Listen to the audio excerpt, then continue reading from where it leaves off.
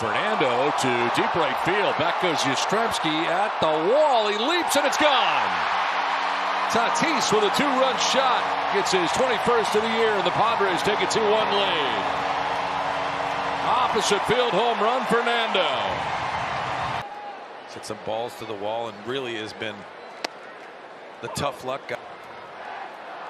One two pitches driven to deep center field. Back goes Meckler at the wall, and that is gone.